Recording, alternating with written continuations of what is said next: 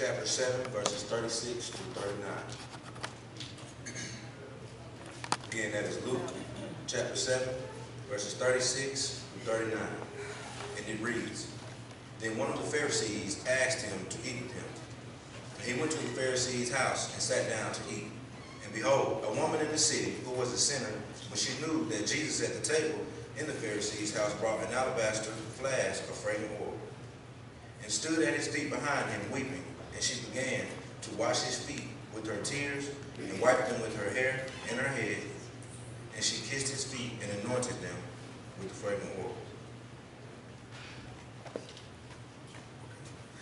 Now when the Pharisees who had invited him saw this, he spoke to himself, saying, This man, if he were a prophet, would know how to, and what manner of a woman this is who is touching him, for she is in sin. She is a sinner.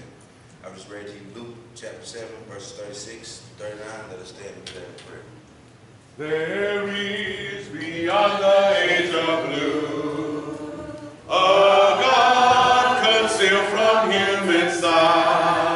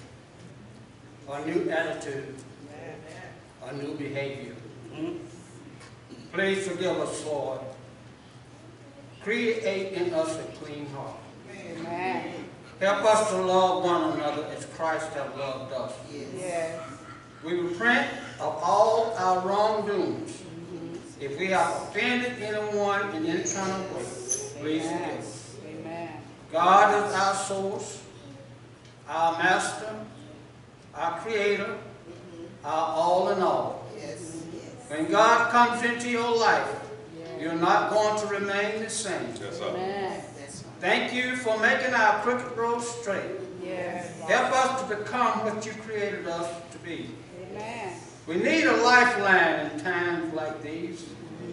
Apart from me, you can do nothing. Amen. We are at the crossroads of life.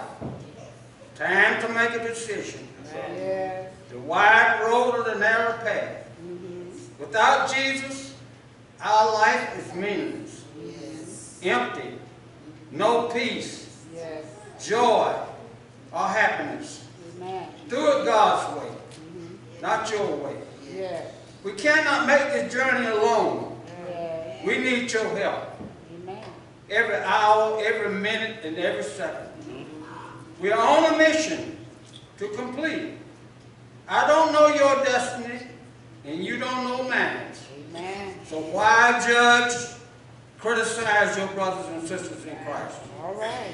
Teach us to listen, trust, obey God Amen. as our source, our creator, our provider, our deliverer. Yes.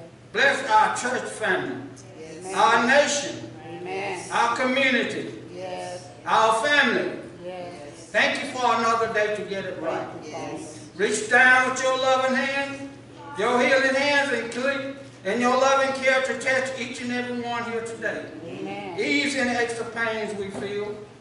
If it be your will, from the pulpit to the back pew. Yes. Amen. Thank you for our wisdom Yes. and knowledge for your Thank you. holy and divine word. Thank you.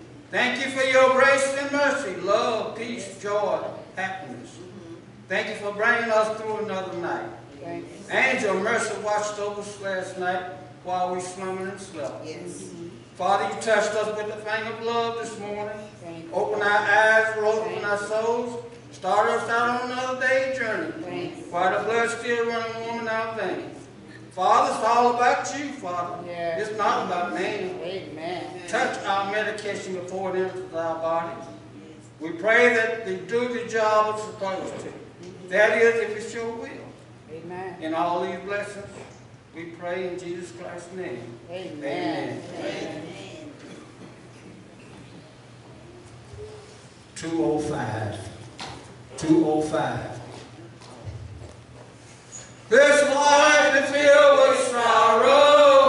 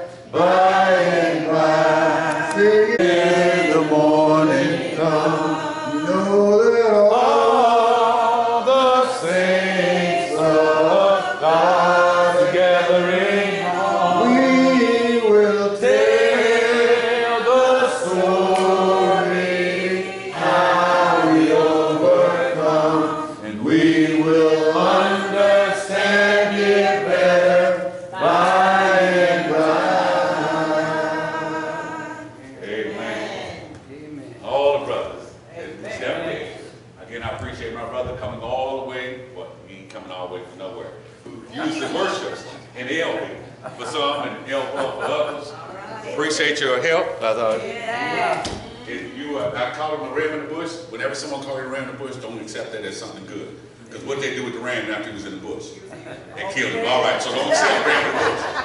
So, just be, I appreciate you uh, stepping up and being able to, willing to come in and work for the Lord. This morning, you could have been any other place, but you chose to be here today. And with that being said, as we go through this lesson, I want you to think about those who are here today and those who could have been here today. And when they came today, how would they feel? Our text, Luke 6 chapter, and it's actually verses 36 through 46, but was read into your hearing verses uh, 36 through 39.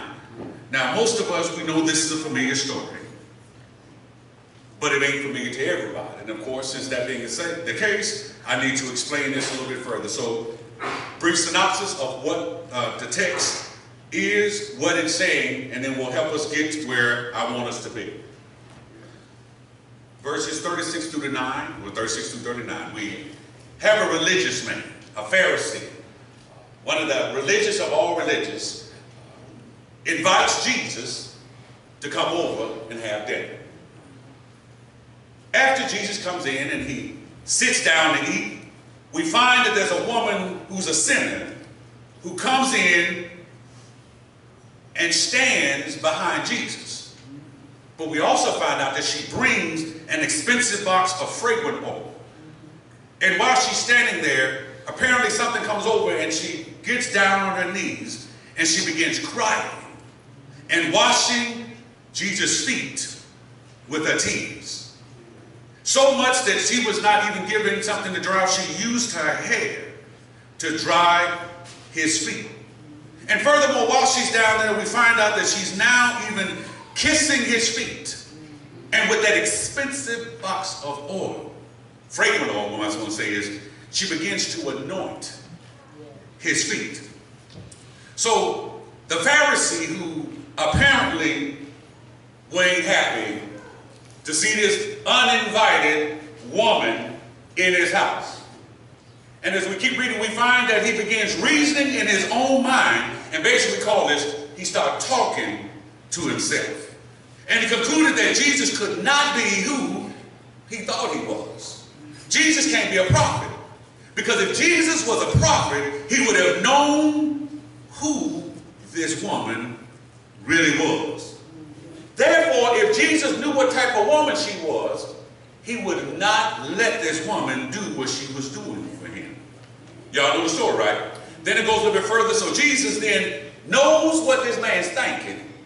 Jesus then gives a parable of the two debtors, verses 40 through 43. In the parable, he's basically explaining that our awareness of our spiritual condition is tied to our actions and our behavior. Paul even talks about this same thing. When you understand, he talks about the mercies of God. When you understand God's grace and his mercy, it then will come out in your behavior because you appreciate what God has done. So our affection or our love is driven by our faith and our gratitude. It's, it's like when you get a child what he wants and he's grateful, he'll love all longer. You can beat that behind, but he still loves you because you continue to give them what they want and what they need. So in other words, the, the, the parable is kind of saying how much we love Jesus is determined by how much we understand how much we have been forgiven. Let me say that again because somebody missed that. If you stop and think about what God has forgiven all your sorrowness, what you've done before, that ought to make you appreciate and thank Him for all that He's forgiven you. Now, in order for Jesus to get you forgiven, He had to die for you. That ought to make some folk not only rejoice, but sometimes you ought to cry for what the God did for you. He actually died for me. And some of us, if, we, if we're really honest, we can look back in our closet, see that skeleton, a few of them that we've cut, a few of them that we've murdered, a few of them that we've talked about, a few of them that we've gossiped. And he said, before then, all that stuff you did before, I'm going to clean your closet out. It doesn't even exist anymore. So this woman, her affection, because she knew that she had to get to Jesus. And Jesus forgave her of all her sins. So Jesus gives a parable, and then Jesus applies the parable to Simon, the Pharisee, and the woman in verses 44 through 47. So this is where Jesus describes how Simon neglected, or some people say refused. Let's just say he refused and he was neglectful to give Jesus what's called the customary greeting and the hospitality of that day as his guest when he came into his house. Finally, verse 48 through 50. Jesus says to the woman, oh, finally in verse 48 through 50. By what Jesus, because I was getting ready to read it, but you read it 48 through 50. By what Jesus says to the woman, he's indicated to all that there are listening, I'm the Messiah, and I have the authority to forgive all sins. So why the man wanted Jesus there is irrelevant. The point is, the man invited Jesus to come, and he treated Jesus like a redheaded stepchild. Because he didn't do what he was supposed to do when he came in the house. So everybody followed it, right? So, that being said, well, I have to give some background com uh, commentaries about the custom of the day, so this will make even more sense. We know at, at, at, that day, during certain events, when a Pharisee or somebody invites a, we'll say a speaker over, um, the guest was supposed to be, when he walked through the door, greeted with a kiss. Then, while they're there, they're supposed to give them some ointment so they can anoint their, um, anoint their head. Because when people traveled, they had dusty feet and dusty hair. So you were supposed to be then given water or slaves come in and wash your feet. This was the norm. That's like saying if someone come to your house, you invite them, would you like something to drink? Would you like something to eat? That's customary. Don't invite me to your house and you ain't got nothing to eat. Well, we're gonna have a Bible study. Well, I'm hungry. Don't have me talking about let's do seven o'clock. No, it's close to my bedtime. You gonna bring me early? Feed me, Seymour. I'm just, sorry. Get back. But I'm saying there's some things that we should do that's expected of you. Keep that in mind because we're going to get a little bit deeper. So it was also the custom that during that time if they had meeting like that, they would let visitors come into the home. So now we have Jesus and this man and his disciples now having a meeting. But when you have this thing, you can allow visitors to come in, but they had to come in and they had to sit against the wall. So they could not interrupt the dialogue, but they were allowed to sit and listen to the dialogue. Y'all follow what I'm saying now? So in other words, if it was me and Jimmy having a seat talking right here, y'all can come in and sit around, but you ain't supposed to say anything. Because they were consigned, uh, confined to stay to the wall and listen to the dialogue so you can learn something. And at this type of event, the host was under no obligation to uh, give those customary greetings to the visitors. Y'all follow what I'm saying? If I if invited him, he's supposed to kiss him, give an anointment for his head, and wash his feet. But visitors, you don't have to do that because they don't have to. They're uninvited guests, but you can still come in. So if we understand that, they were uninvited, but they just had to sit there with dirty feet, dusty hair,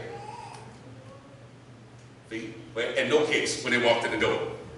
So as we look more into the story, you will notice that in this story, who is it addressing? Oh, let me flip it. I ain't gonna ask you. If you notice the story, it's not addressing everyone that was in the house, right? It's only addressing uh, the man and how he acted toward this woman. We're not talking about what everybody else might have done. Right now, Jesus is saying, I'm dealing with the host of the house and how him being a religious person, a Pharisee, behaved toward Jesus and how he behaved toward this woman who entered into his house, who he labeled a sinner, and we find out she was a visitor too. Here we go. So subsequently, this lesson is not directed to the church as a whole. Keep this in mind. I'm not addressing everybody, but I'm rather addressing the individual church member's behavior when a person shows up unannounced and technically unexpected to our assembly worship. All right. When they show up at our Bible study, or when they show up when we have in our uh, feast day meetings. We're talking about people that we did not, or we should say, they came unexpected and we weren't expecting them to be here. Everybody still following what I'm saying? Because when we get the story, this all gonna make sense. So I also want you to see another comparison. Something that's really, it just stands out and most of us missed it, but that's a comparison and contrast in the story. Jesus is a guest, right? But this woman is a visitor. We're on the same page. If you think about what I just said, don't that sound weird? I'm saying Jesus is a guest, she's a visitor. It, they ain't the same thing. Here's why.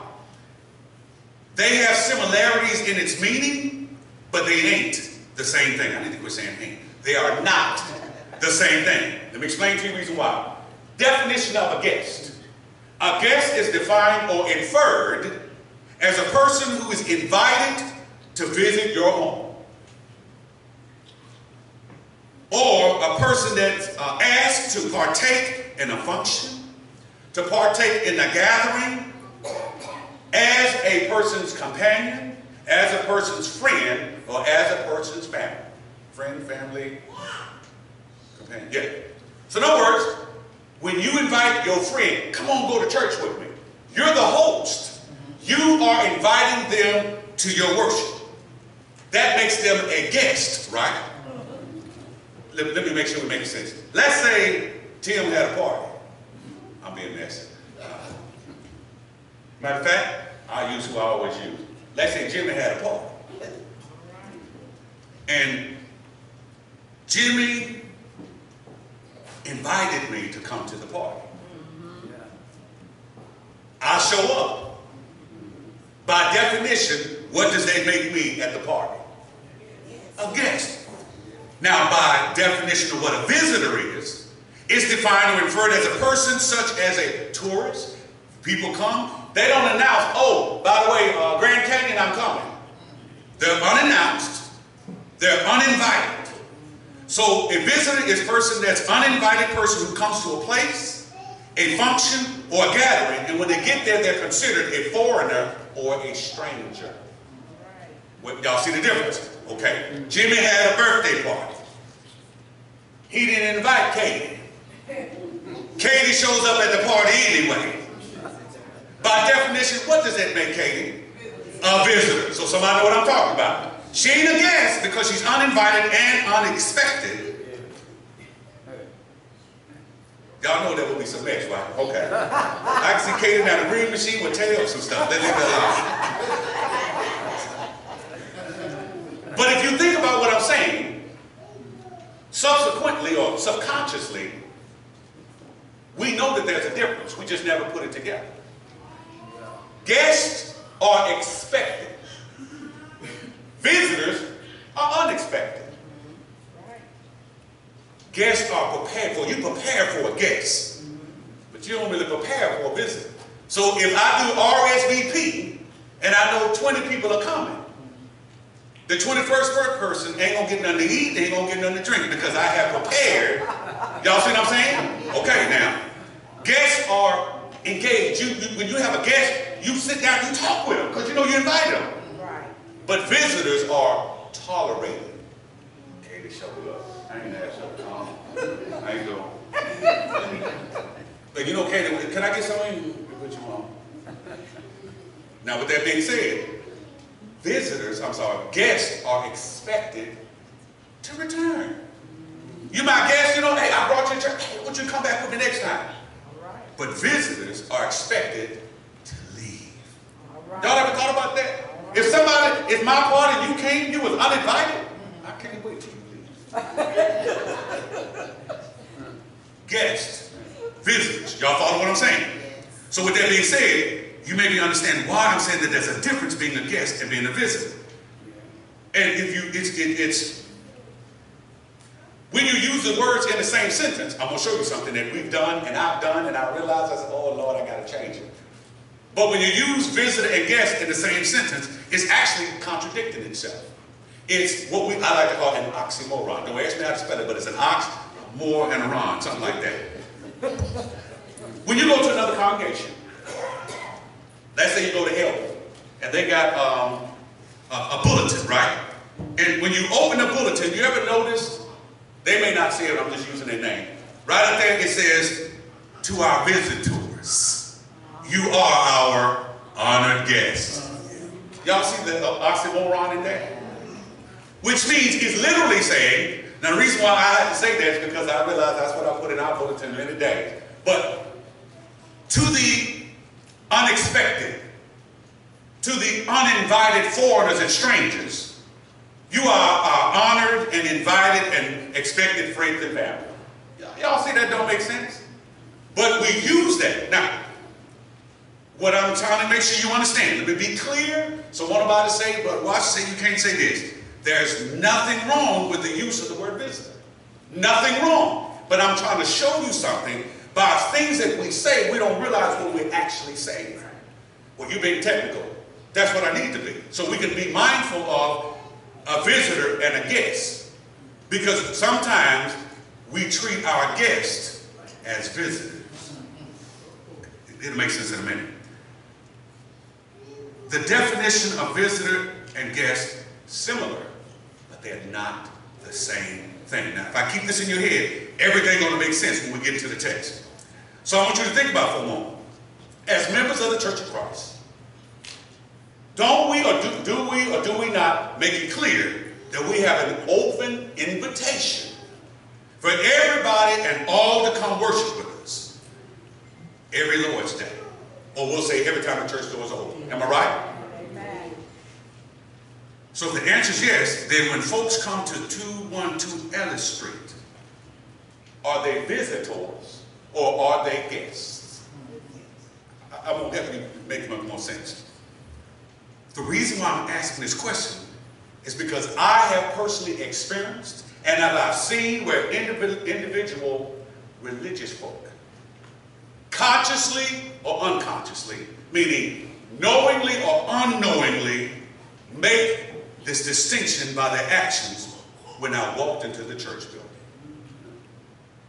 I came in, they said, we're open to all. I came in as if I was trying to be a guest. But the way they looked at me, unexpected, unwanted, I had to have been a visitor. Y'all see what I'm saying? Which brings us to the subject, verse um, 36. Keeping that in mind, when one of the Pharisees asked Jesus to eat with him, he went to the Pharisee's house, sat down and ate. And behold, a woman in the city who was a sinner, when she knew that Jesus sat at the table in the Pharisee's house, brought an alabaster flask of fragrant oil, and stood at his feet, behind him, weeping. And she began to wash his feet with her tears, and wiped them with the hair of her head. And she kissed his feet and anointed them with the fragrant oil. Verse number 39. Now, when the Pharisee who had invited him, he's a guest now, saw this, he spoke within himself, saying, This man. When people are mad at you, they don't call you by your name. Why didn't he say Jesus? And you no, this man. You know how folk do. This man, if he were a prophet, would have would have known who and what manner of woman this is touching him, for she's a sinner. Drop down to verse number 44. Then he turned to the woman and said, Simon, Jesus now looks at the woman, but he's talking to Simon. I do this a lot. When I'm trying to mess with Katie, I look at Francis and say, green machine, green machine. But she know who I'm talking about. So Jesus turned to the woman and said, Simon, do you see this woman? I entered to your house. You gave me no water for my feet, but she washed my feet with her tears. And she wiped them with the hair of her head. You didn't give me a kiss, but this woman has not stopped kissing my feet since I came in. You did not anoint my head with oil, but this woman has anointed my feet with fragrant oil. So I want you to consider for a subject, how do they view you after they view you viewing them? Let me say this to make sure again. How do they view you after they view you viewing them? Here's what I'm trying to explain. How does a person who comes into our assembly on Sunday or Wednesday night view or assess how you assess them? After they see you checking them out or looking them up and down once they walk in the church building. Oh, we ain't thought about that, huh? And we know good and well, because in Clio, I have to bring up some old stuff. I had an issue with folks turning around when folks came into the building. The doors didn't make enough noise for them to turn around. But there's some people that can sit in a certain spot, can hear an ant walk on water. There's some people that can't hear nobody talking about you, can't hear it rattling in the car, but they'll hear somebody, somebody just pulled up. They driving on grass. Anyway, keep moving right along. The question should be, how do you think this woman felt in this story? Think about what I'm asking. This woman knows she was a sinner. Folks knew who she was. And she walks in. And how do you think folks looked at her when she walked in? Unlike the picture where you, um, Da Vinci had did this thing up where he got Jesus sitting in a chair at the center of a table, and um, Jesus, you got him sitting in a chair. Jesus didn't sit in a chair and then have folk this way. The way it was done was it was made in a U, not University of Miami, the U. It was in a U. And Jesus if this is the beginning of the U, Jesus would have sat on the left-hand corner of, uh, of the table, or we'll say the surrounding. And the reason why they did that, so servers could come in the middle and serve them. The Jesus would sit there, and then the host would sit on the other end. So guess who were always looking at one another? The host was always looking at the guests. So they were looking at each other. So understand that. Y'all got that in your mind. So that being said, we now have Jesus sitting, not on the table, laid out, but Jesus sitting in the U. He's reclining on that side on his left elbow on the floor with his feet behind him. They wasn't sitting in no chair back then. Yeah, Jesus was talking, but he wasn't thinking about no chair. He had no lazy boy sit back, feet go up. No, of that. The stuff you see on there, it ain't how it was. So as Jesus, being the honored guest sitting on the left, the far right would have been your boy, your, the host. So in verse number 38, when we read, where the woman stood behind Jesus at his feet, that means while Jesus was laying on the floor sideways eating, everybody saw this woman. The guy that was looking, so if Jesus is right here, I'm laying down, it's like if Mariah was standing here, I'm standing over her. Y'all know good and well, you're going to see me come behind. So he's standing there. Do you think that woman, people walked in, hey girl, how you doing? All right now.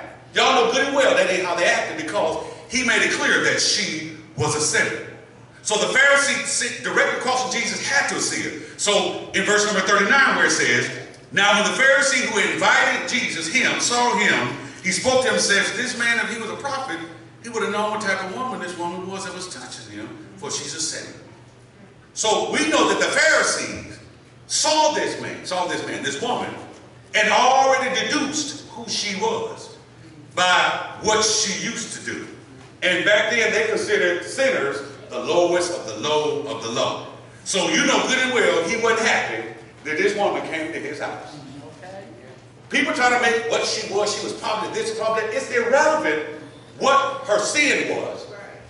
It's irrelevant, why didn't he give her name, what her name was. Here's the reason why. When a visitor, or a visitor, when someone comes into our worship that you don't know, does she, that person have a name?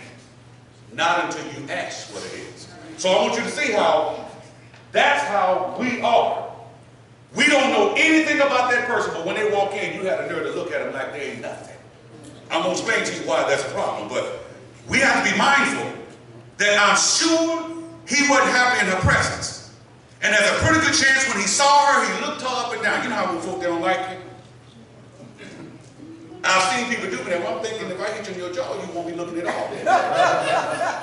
what I'm trying to say is, when I first got into church, I had to keep reminding myself, because I'm spiritually saved, you are physically saved.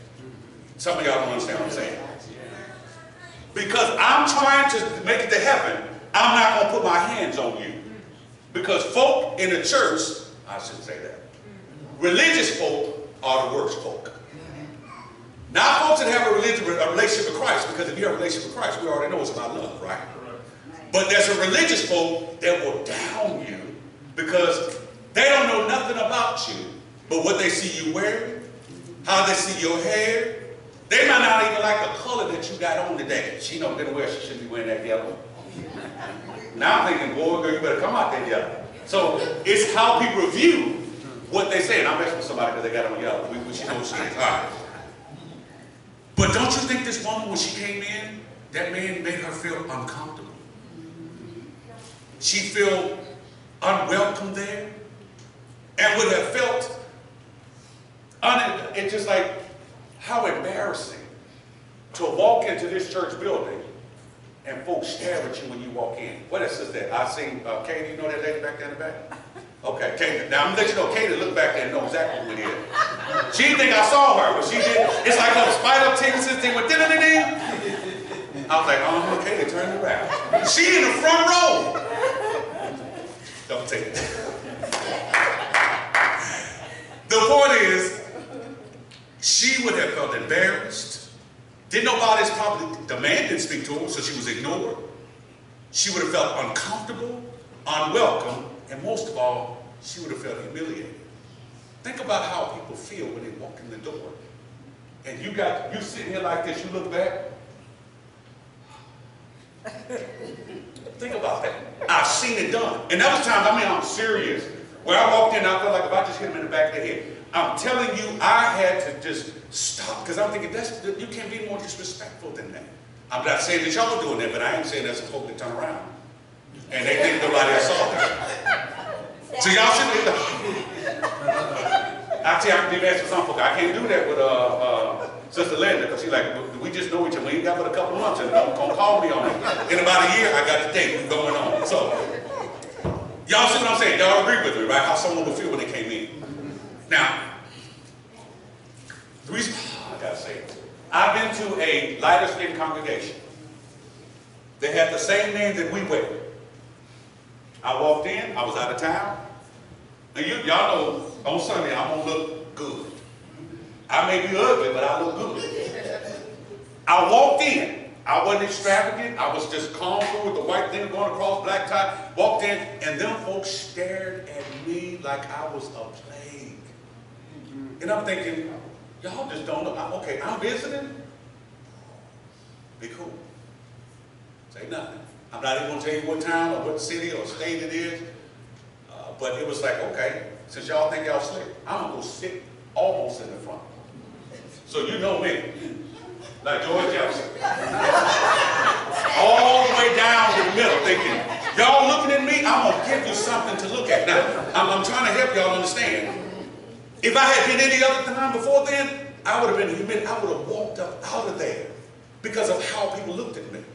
And I came to had been the second, the second row seat, and it was a person sitting there. And I was like, and I was wrong. That's why I said I was young in the faith.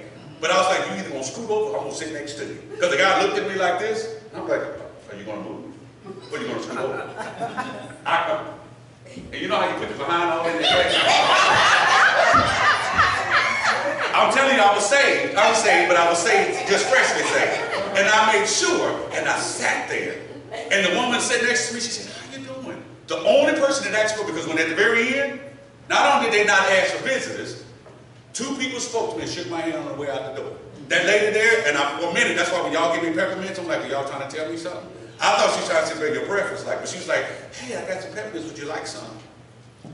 I think, I'm like, is my breath that bad? But that's what people do. But I understood how I would have felt, how they made me feel for that brief moment. And again, the old Robert stepped in and said, I'm going to show out and show up. But, and you know, if you really want to get them, say amen in the sermon. Yes, ma'am. I sure said amen every time I got a chance. I ain't been back since, but I did talk to the minister because he didn't even speak to me. As I was leaving, I said, wait a minute. I literally turned around and said, the preacher didn't even speak to me. And you couldn't help but to see me because I was the only piece of pepper in the salt factory. Okay. So I said, hey, how you doing? Did you notice that I was there? Well, yeah. You didn't think to speak to me?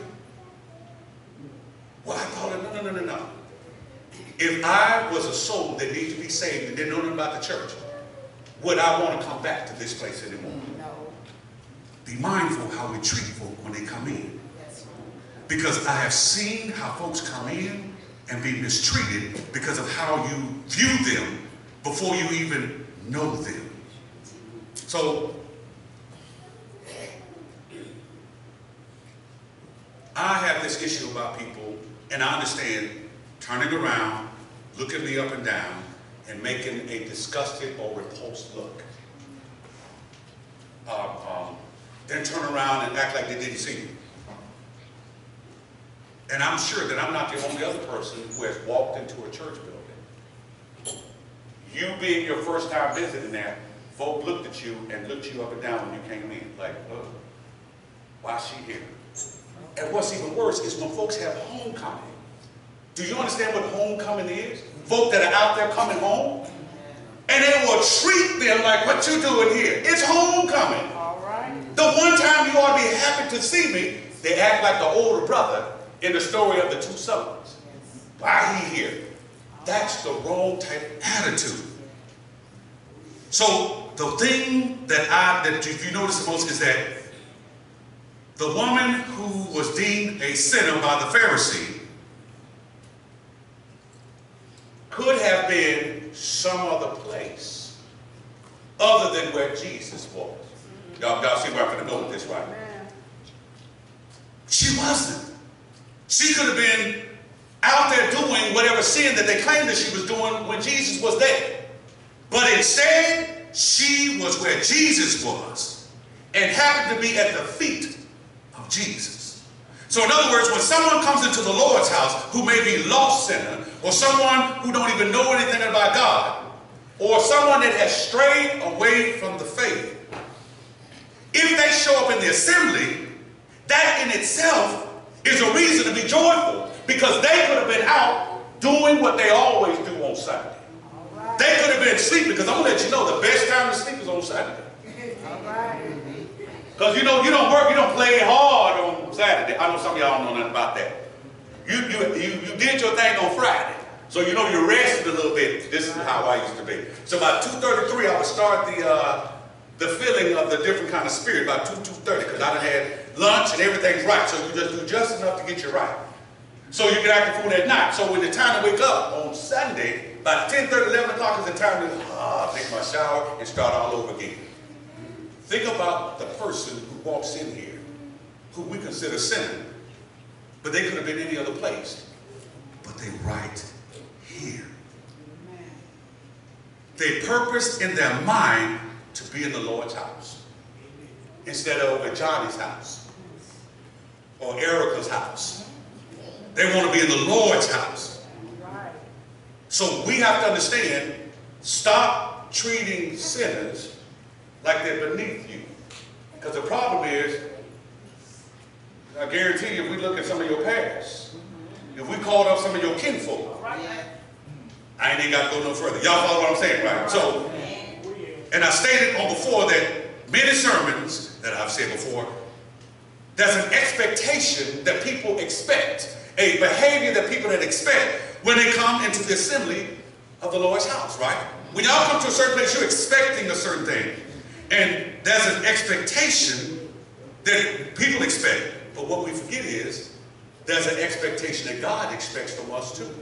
So when they walk in, there's an expectation they expecting.